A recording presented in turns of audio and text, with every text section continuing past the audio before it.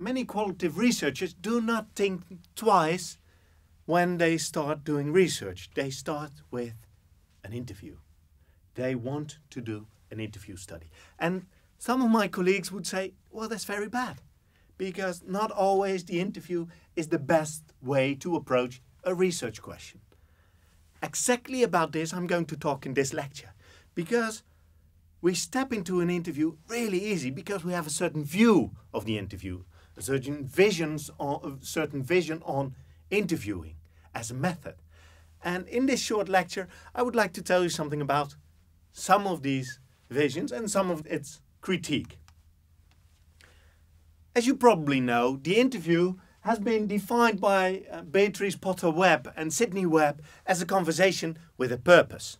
And that's a rather classical view. It's 1932. It's a conversation with a purpose, and the purpose is to gather information.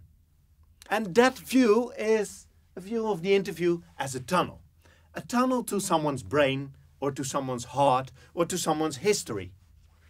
And the purpose of the interview then is to obtain as much and as specific as possible information that is also useful about events and facts and emotions, experiences, attitudes, and so on and so forth. About the life world. Let's not forget about that. About the life world of the interviewee. So, what you want to do then, if you view an interview as a tunnel, you view it as a tunnel to someone's brain, to someone's memories, or a tunnel to someone's heart, to someone's emotions, or someone's past. It's a tool through which you gather information about something outside of the interview. So, if you think about the interview like this, it is a tunnel to the head of the interviewer, and thus this tunnel has to be as directly as possible. This tunnel has to be as neutral as possible. This tunnel also has to be as reliable and as valid as possible. And how do you deal with that? How do you create a reliable and valid interview? Well, you create this by using good instruments, such as good questions. You need a good question. You do not want double barreled questions or suggestive questioning or over directive questioning. No, you want good questions in order to have as valid information as possible. It should not be disturbed, this tunnel. So you need not only good question, but also good question order. You need good interviewer behavior, not an interviewer that is very active for the first interview and very relaxed and laid back for the second interview. Because then you can't really compare those interviews. They're not reliable, they're not comparable. You also need the interviewer to pose each and the same question to every person in order to compare. Otherwise, people use different tunnels and then things may go wrong. So, people need the same introduction, the same interviewer behavior. And lastly, you also need good interviewee behavior. So, this interviewee has to be trained as well. The interviewee, he or she, does not have to give socially desirable answers. No, this interviewee has to give good, honest answers. Honest to the heart or to the brain. So, how does it look like an interview as a tunnel?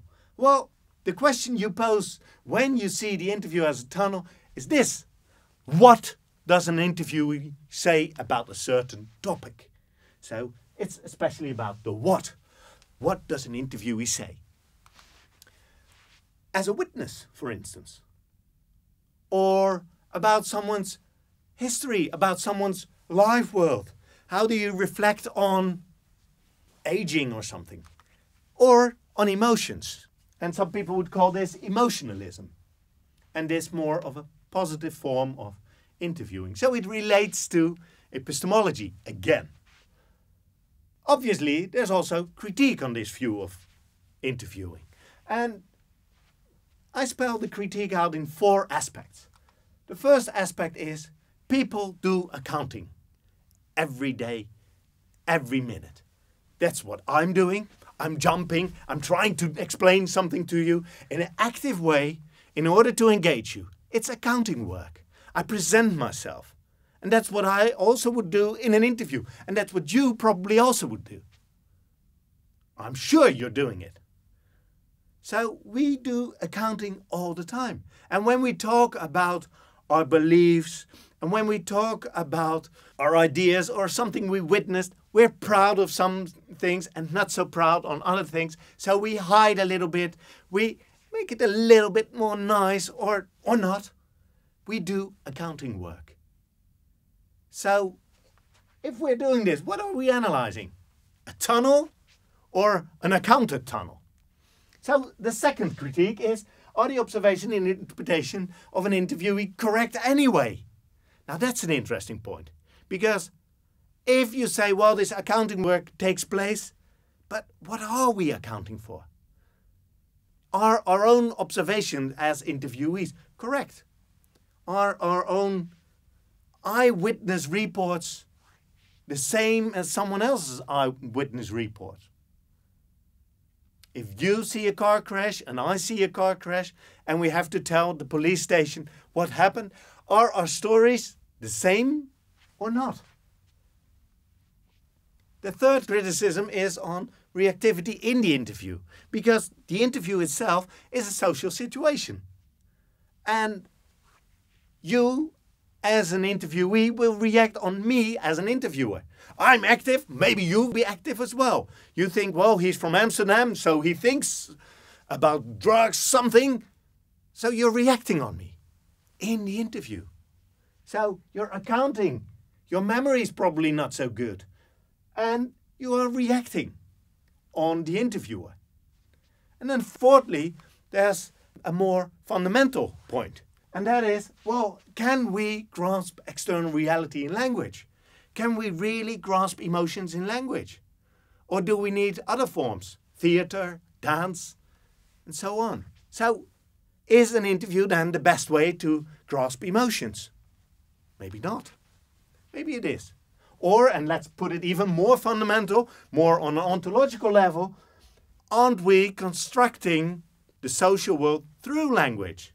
So, in an interview, aren't we totally constructing the world out there rather than describing it? If you follow this critique, then you would come to see the interview in a different way. Not the interview as a tunnel, but more of a topic. The interview as a topic. And then the purpose of the interview is slightly different. Again, it's about as much information as possible, as specific information as possible, and as useful information as possible, but not on something outside the interview, but on the interview itself. An observation of the interview. And usually, people describe this and discuss this in two ways. The first way is the interview as an indirect source. So then you still use it a little bit as a tunnel, but not a complete tunnel, because what you're looking at is interviewees talk as accounting behavior. So you look at what someone is doing in the interview. You look at how people are using certain terms and definitions and words and how people present certain views in the interview itself. Not that they have this view in their head in their heart, in their history. No, how they presented at that situation. So that's an indirect source. The other use of interview data is to look at the interview as interaction. So, not how someone presents him or herself, but how this is done in interaction with the interviewer. So, then the interview is analyzed as a social event. And most often, this is done with a conversation analytical point of view. So, how do people account? How do people play status? How do people repair difficult questions or difficult situations? And so on and so forth. So, here you see the interview as interaction. Well, if you follow this critique again, you see you look at the interview as a topic. What kind of research question do you pose when you see the interview as a topic? Well, a question like this How does an interviewee account? It's the behavioral part. The first, the indirect topic. The second part is in interaction with the interviewer. And then you make it into a social event. So you can combine those questions. How does an interviewee account in interaction with the interviewer? Obviously, some people would say that the interview is not only a topic or not only a tunnel. And especially since the mid 1990s, this is called active interview or active interviewing. And this term was made popular by uh, Gubrium and Holstein.